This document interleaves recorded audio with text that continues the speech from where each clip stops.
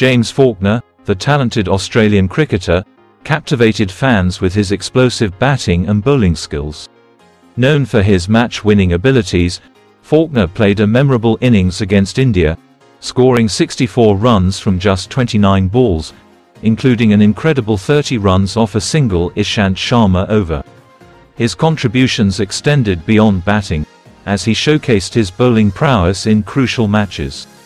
Faulkner's remarkable performances, including his three wickets for 36 runs in the 2015 Cricket World Cup final, earned him accolades and recognition.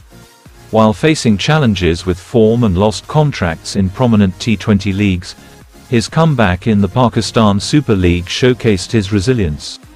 However, controversies arose when he quit the league mid-season, leading to a subsequent ban.